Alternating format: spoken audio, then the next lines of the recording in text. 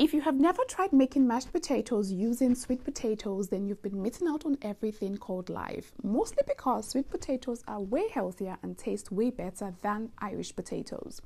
Before we get into it, remember that you can get more mouth-watering and easy to make recipes from my new cookbook, Winnie Sizzling Selections, which has over 100 recipes you can choose from.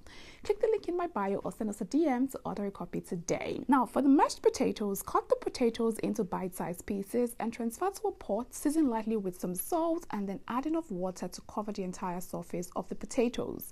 Cover the pot and leave to cook till this is very tender. When it is fork tender, take it out of the pot with a slotted spoon and then transfer to a bowl. Mash with a masher until it is very smooth.